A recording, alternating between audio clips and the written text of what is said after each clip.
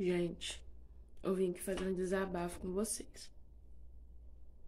É, antes de eu falar, eu não quero que vocês me entendam mal, tá? Não quero que me entendam mal. Não quero que é, venham nos comentários falar assim, ah, tá reclamando, pra que teve filho, ah, não sei o que. Entendam, eu não estou reclamando, tá? Eu estou apenas desabafando. Hoje, hoje não, né? Esse mês de abril não tá sendo um mês muito agradável aqui na nossa casa.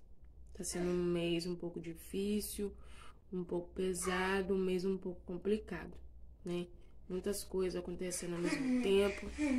A gente tá com a cabeça que pensa numa coisa, pensa em outra, tentando resolver algumas coisas, mas tá difícil, tá? É, vocês sabem que aqui em casa só o Jus que trabalha, né, fora.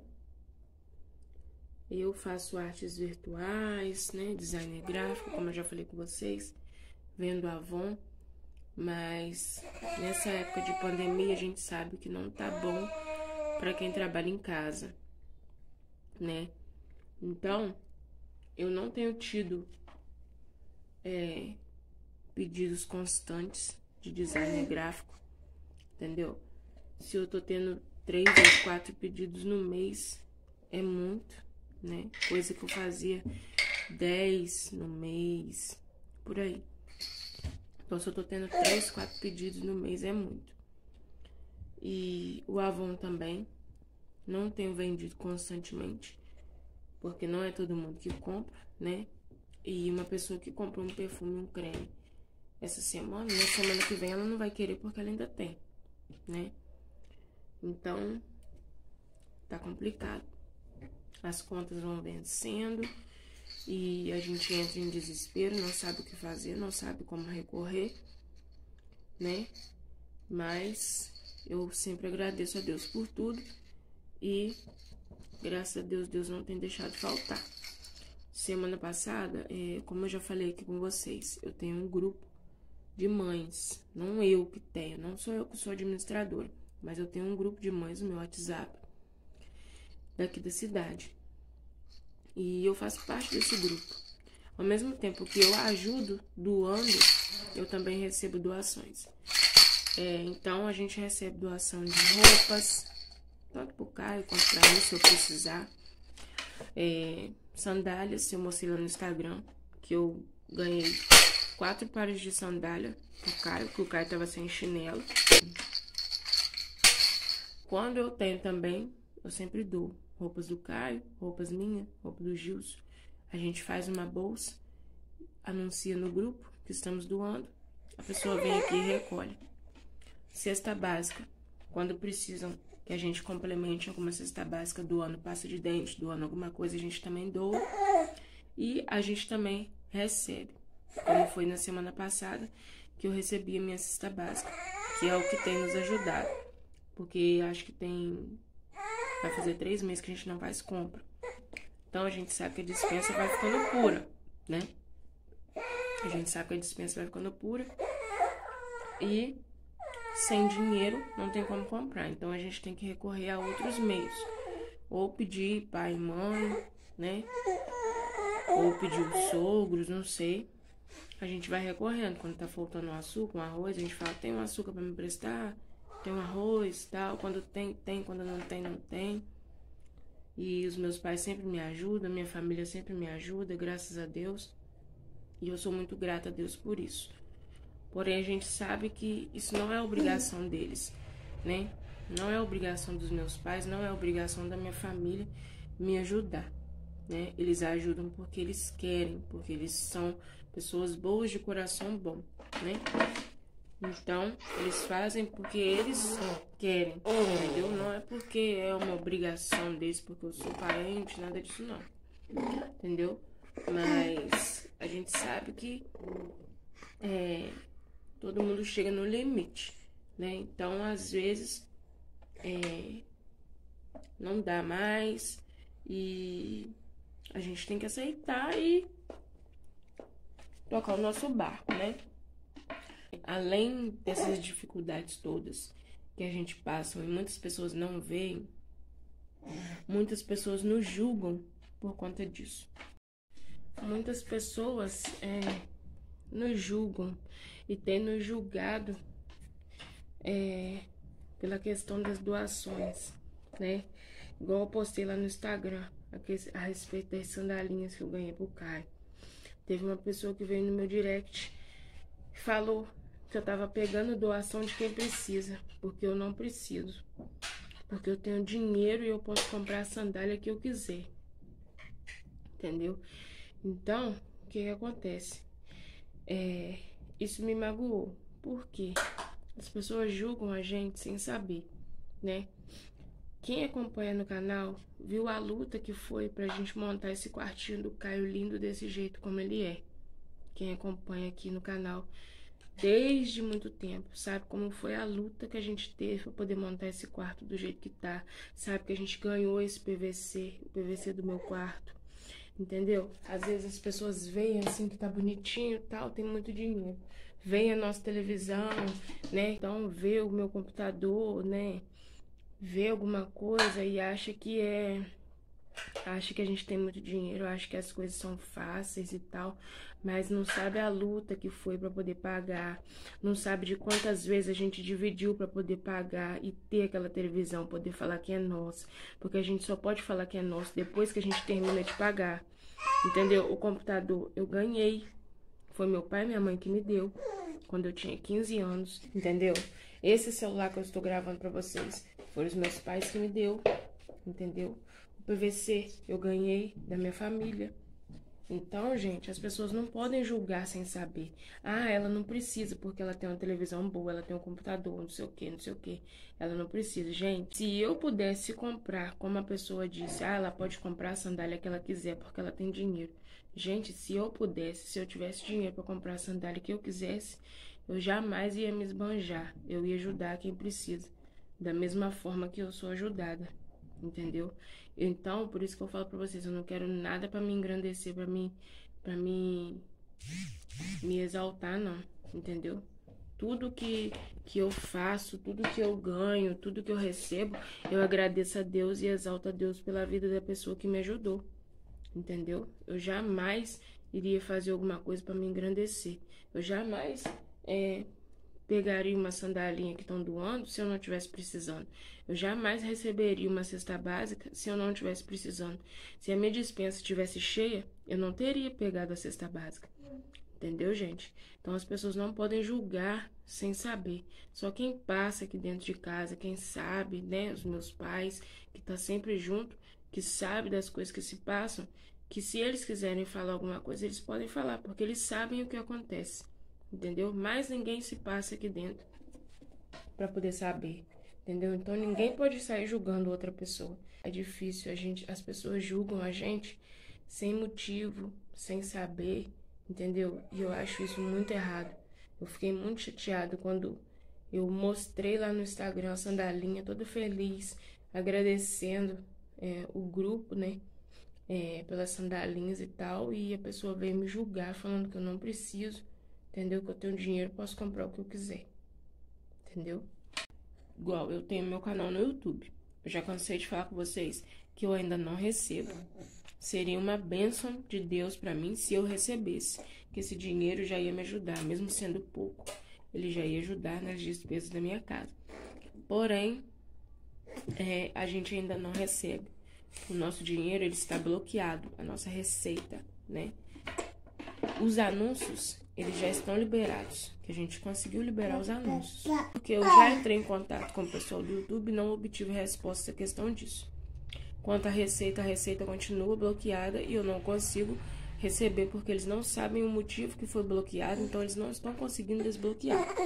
Enquanto isso não acontece, eu venho pedir a vocês que sempre estão assistindo os meus vídeos que curtem, compartilhe para outras pessoas, entendeu? Para poder ajudar o nosso canal e automaticamente ajudar a nossa família, entendeu? Peraí. Então, gente, é isso que eu peço a vocês, para vocês me ajudarem, compartilhe os meus vídeos, compartilhe o meu canal com outras pessoas, para que esse sonho, que eu sei que não é só meu, que ele possa se realizar o mais breve possível, entendeu? Que o meu sonho é que eu consiga receber com o meu canal para que eu possa ajudar nas despesas da minha casa, entendeu? Não quero receber para luxo, para para me engrandecer, para nada disso não. Eu quero receber para poder ajudar nas despesas da minha casa, entendeu? Para pagar contas, porque é muito difícil. Aí é outro ponto que eu vou entrar para desabafar com vocês. A questão de trabalho. A minha vontade de trabalhar é muita. Quem convive comigo sabe que eu pego qualquer coisa. E vocês já viram aqui que eu já entreguei panfleto, é, já fui atendente de padaria, já trabalhei em hospital, é, já trabalhei cuidando de idoso, já trabalhei de várias áreas possíveis. É... Então, e agora eu trabalho em casa, fazendo meu design gráfico vendendo meu avô. Mas como eu falei, não é muito. Então, agora com o Caio, fica mais difícil ainda de eu trabalhar. O Caio tá pequeno, ele vai fazer 10 meses. E ele não desgruda de mim. Tem dias que eu não consigo fazer nada. Absolutamente nada. Até para mim escovar meus dentes, eu tenho que estar com ele no colo, porque às vezes ele tá muito enjoado e só quer ficar no meu colo, não quer ficar no chão, coisa de 5, 10 minutos para escovar meu dente. Então tem dias que tá muito difícil, porque é fase dele, entendeu? Mas ele é muito grudado comigo. Tem dias que ele não quer nem ficar com o Gilson, que é pai dele, só quer ficar comigo. O Gilson pega ele do meu colo ele começa a chorar. Ele não fica com ninguém. Não adianta vocês falarem assim, ah, sua sogra mora aí, deixa ele com a sua sogra, que você consegue trabalhar. Ele não fica, gente. Não fica. Por isso que todas as vezes que a gente vai na rua, a gente tem que levar ele. Porque ele não fica. Eu estou à procura de emprego, vai fazer sete anos. Sete anos que eu saí da padaria onde eu trabalhava. E dentro desses sete anos, é só colocando currículo, colocando currículo, colocando currículo em tudo quanto é área. Igual já contei lá no Instagram, que eu já coloquei currículo até pra Gari e não consegui, entendeu? Então, eu penso assim, oportunidade de emprego tem, mas eles escolhem as pessoas, tipo, eu sou negra, sou gorda, tenho cabelo crespo. Muitas das vezes que eu fui entregar currículo, eu não tava com meu cabelo natural, eu estava de tranças, ou então eu tava de entrelace, entendeu? Então, muitas dessas coisas faz eles não quererem a pessoa só no olhar, porque eles olham pela fisionomia. Eles não querem saber do currículo, porque eu, graças a Deus, eu tenho um currículo bom. Mas eles, a maioria das pessoas não olham pelo seu currículo. Eles olham pro seu físico. Então, dentro desses sete anos que eu distribuí currículo, eu perdi as minhas esperanças, entendeu? Até porque antes de eu engravidar o Caio, eu já não estava distribuindo mais currículo entendeu? Tanto indo entregar quanto currículo pelo e-mail. Não mando mais. Perdi as minhas esperanças de arrumar um emprego. Por isso que agora eu priorizo trabalhar em casa. Entendeu? Então eu faço o que eu posso. Tudo que eu posso para ajudar eu faço. Entendeu? E graças a Deus até hoje Deus não tem deixado faltar. Porém a gente sabe que as coisas começam a apertar. Aperta de um lado, aperta do outro. Até que chega um momento que a gente não aguenta mais. Entendeu? E isso é o que está acontecendo agora. Esse mês, vocês perguntaram a respeito do mês versário, né? A gente não conseguiu fazer. Por conta disso. Tem coisas atrasadas que a gente não conseguiu pagar. Então, a gente sabe que quando atrasa uma, automaticamente vai atrasar todas as outras. A gente sabe disso. Então, isso é o que tá pegando hoje. Entendeu? Que tá difícil. Então, teve algumas pessoas que perguntaram, tanto aqui no YouTube quanto no Instagram, a respeito do mês versário. A gente não fez. Vai ser o primeiro mês versário que vai passar em branco. Entendeu? A única coisa que a gente fez foi tirar a foto dele com a fantasia que a minha mãe fez. Depois eu vou até postar pra vocês. Entendeu? Então tá difícil. É, as coisas vão se apertando e quanto mais apertadas ficam, piores são para poder resolver, né? Mas Deus é conosco, não nos deixa faltar, né? Nós estamos com saúde, estamos com vida. Mesmo que temos só arroz e feijão, não temos carne, ou então temos só arroz e uma batata, Deus não nos deixa faltar. E eu sempre agradeço a Deus por isso. Tá bom, gente? Vocês viram aí o almoço de domingo aquele dia. Foi um almoço simples, eu falei para vocês. E Deus não nos desampara. Tá bom? Esse é o meu desabafo que eu vim fazer. Eu teria outras coisas para falar, porém já deu 14 minutos. Não é todo mundo que vai querer assistir esse vídeo, não é todo mundo que vai assistir o vídeo inteiro. Entendeu? Muitos vão pular, muitos vão entrar no começo do vídeo e vai sair. Entendeu? Ninguém vai assistir até o final. Mas eu precisava vir desabafar. E acontece muito mimimi a respeito é, de eu não conseguir fazer as minhas coisas por conta do Caio. O Caio é pequeno, eu sou mãe de primeira viagem. Eu aproveito ao máximo todo o tempo que eu tenho com meu filho. Então, se ele me pede o colo, eu jamais eu vou negar. Eu dou colo a ele todas as vezes que ele me pede. Entendeu?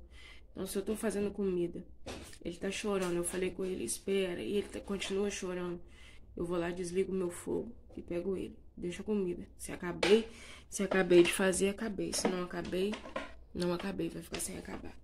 A minha prioridade hoje em dia é ele. E eu não consigo ficar escutando mimimi quieta.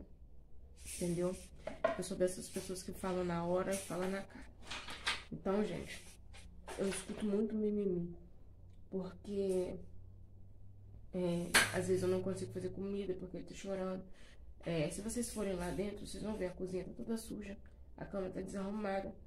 Porque eu não consigo fazer porque ele não sai do meu colo. Ele fica no meu colo por muito tempo. Agora ele tá ali brincando. Se eu sair daqui para ir lá limpar a cozinha ou arrumar minha cama, ele vai atrás de mim chorando, porque eu tenho que ficar perto dele. Entendeu? Então, é, como é que eu posso dizer?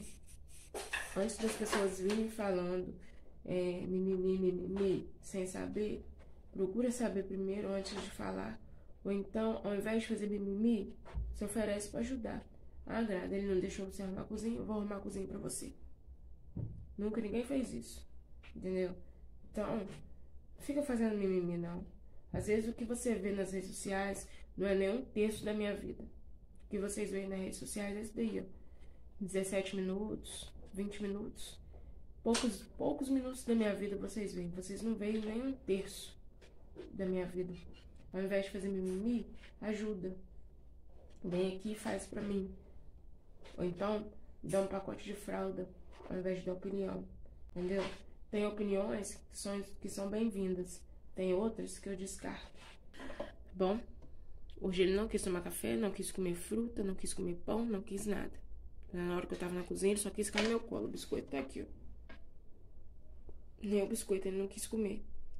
Só bebeu água e quis ficar no meu colo. Aí agora mesmo ele tava aqui chorando aqui em cima de mim. Aí ele foi pra lá brincar. Daqui a pouco ele vem chorando de novo pra cima de mim pra ficar no meu colo. É assim tá? E eu não abro mão disso. Tá bom, gente? Só isso que eu vim falar pra vocês. E antes que vocês falem assim, abre uma vaquinha pra gente ajudar. É, não sei o que, eu não abro, gente. Eu não abro porque as pessoas podem falar que podem não. Muitos já falaram que eu só venho aqui no canal para pedir e eu não tô pedindo nada.